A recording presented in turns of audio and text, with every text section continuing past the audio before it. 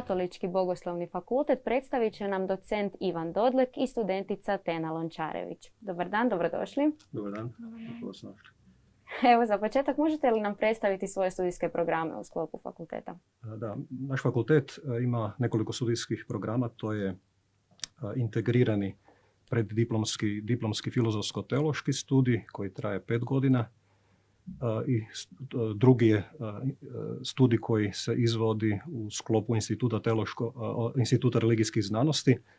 To je preddiplomski i diplomski studij teološko-religijskih znanosti i imamo Institut za crkvenu glazbu kao treći studijski program, preddiplomski također i diplomski. Ja bih možda rekao možda riječ dvije upravo o filozofsko-teološkom integriranom studiju koji traje pet godina. On nastoji u vidu interdisciplinarnosti, dakle specifično teoloških disciplina znanosti kao što su biblijske discipline, praktična teologija, sustavna teologija, moralna teologija, crkveno-pravna kanonska disciplina.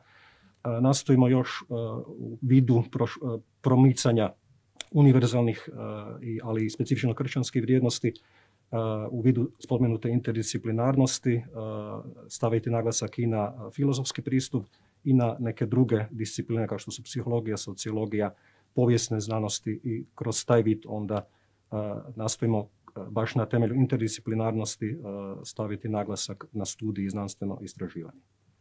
Evo, kolegica bi možda mogla predstaviti teološko-religijske znanosti. Dakle, studij teološko-religijskih znanosti, kao što je profesor rekao, je preddiplomski i diplomski sveučilišni studij.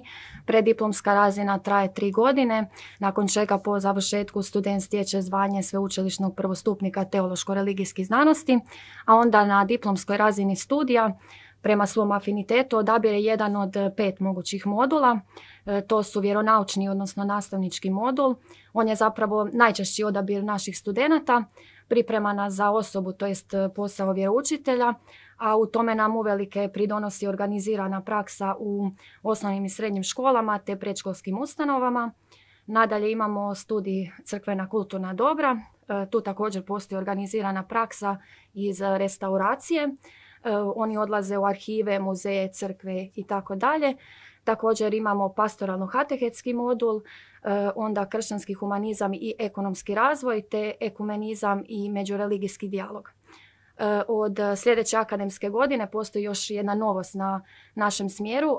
Dakle, mi u partnerskoj suradnji sa Hrvatskim katoličkim sveučilištem idemo dvopredmetno. Dakle, studenti će uz teološko-religijske znanosti moći opisati i povijest ili sociologiju.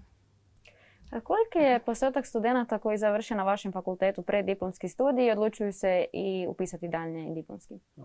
Posljednjih možda pratio sam deset godina recimo ima uspona i padova u tom vidu, ali recimo da je neki prosjek oko 75% koji upisuju onda i u ovom vidu diplomski studij i uspješno ga završavaju. A što se tiče nekih studentskih aktivnosti na vašem fakultetu? Na našem fakultetu postoje mnoge, mnogobrojne aktivnosti. One su najčešće organizirane od strane studentskog zbora ili u suradnji sa studentskim zborom. Ono što je kod nas specifično, sve te, odnosno gotovo sve te aktivnosti su humanitarnog karaktera. Dakle, mi na tim e, aktivnostima, događanjima zapravo prikupljamo novac za naše studente e, slabijeg socioekonomskog statusa u vidu jednokratnih stipendija. To su, na primjer, Brucošijada, Adventski vijenac, to je kulturni umjetnički zabavni program studenata KBF-a gdje mi imamo priliku pokazati svoje talente u vidu pjevanja, plesanja, glume, recitacije i slično. Svakako su tu i duhovne aktivnosti e, koje su nama na KBF-u iznimno bitne. Tako organiziramo duhovne obnove, klanjanja, mise zornice za vrijeme adventa, e, paljenja adventskih svijeća, obilježavanja e, sjećanja na Vukovar i slično.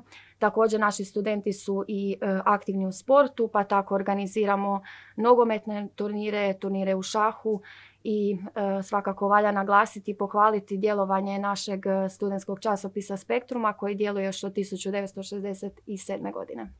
A je li zgrada vašeg fakulteta prilagođena osobama sa invaliditetom? Je, mi imamo i posebnu službu fakulteta koja vodi brigu o osobama sa invaliditetom. U tom vidu izgrađene su rampe, svi pristupi su prilagođeni osobama recimo koji su u kolicima.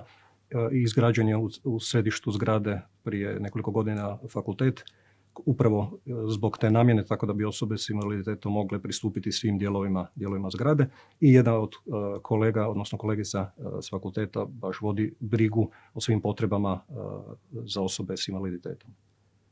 I evo za kraj, što biste poručili na budućim studentima zašto upisati vaš fakultet?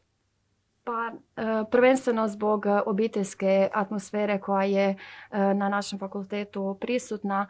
Profesori su uvijek pristupačni, kolegijalni su ostali studenti. Također to je jedno bogatstvo i punina koju mi dobivamo na samom fakultetu.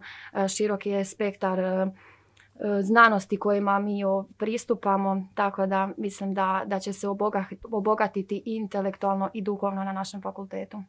Hvala vam puno na razgovoru i želim vam puno uspjeha u budućnosti. Hvala, vam.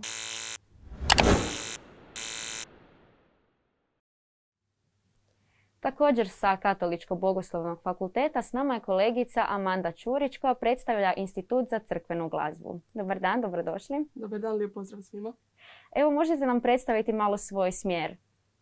Dakle, evo na Institutu za crkvenu glazbu na preddiplomskom studiju E, postoje dva smjera. Dakle, smjer glazbena pedagogija e, te smjer orgulje. Ja sam evo osobno odabrala smjer orgulje.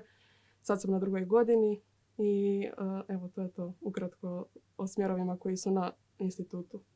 A postoji li studentska praksa? Imate li prostorije možda u kojima možete vježbati instrumente? Naravno, naravno. Imaju dakle prostorije sa instrumentima, s orguljama, s klavirima. U skladu dakle, s, našim, s našom nastavom i predmetima studenti uvijek mogu vježbati. Je li vaš fakultet uključen u projekte studentske razmjene? Možete li ići na Erasmus projekte u druge zemlje? Jesu, uključeni su, mislim da čak sa Rimom i slično. E što biste poručili vi kao studentica Katoličko-bogoslovnog fakulteta budućim studentima? Zašto baš da upišu vaš fakultet? Pa evo, da upišu oni koji imaju ljubav prema glazbi, prema crkvenoj glazbi također, E, tu je jako zanimljiv gregorijanski koral koji mi njegujemo, ali naravno i zbog klasične glazbe e, jer upravo naš smjer nudi oboje. A što se tiče studentskog života na vašem fakultetu, imate li knjižnicu, neke udruge možda? Pa evo knjižnica je, u sklopu dakle, bogoslovnog sjemeništa. E, zapravo isto kao i katolički bogoslovni fakultet mi koristimo istu knjižnicu. U redu. I možda za studente koji se dvoume između smjerova, zašto biste baš preporučili vaš smjer? Pa evo, orguljaša puno nema, to je zanat koji već izumire, a orgulj je jedan predivan instrument. Ali također, mislim, i drugi smjer glazbena pedagogija je isto tako lijepo jer poslije ima posla.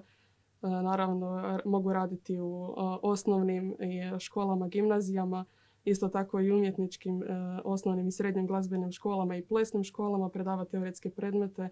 E, tako da uvijek je lijepo. Mogu se poslije e, također i voditi amaterske zborove, orkestre.